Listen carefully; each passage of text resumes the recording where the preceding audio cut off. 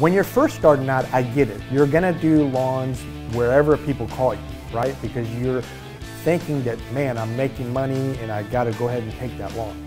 But in reality, as you grow, you wanna try to get route density.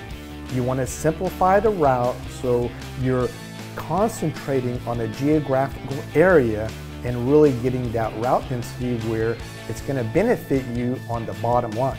You're not spending a whole lot of money driving from one location to another and basically that's burning time and money, right?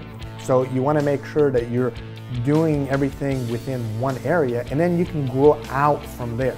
It's very important for me and I think it should be for you too to really concentrate on one area and really grow that area and as you expand you can grow into other areas.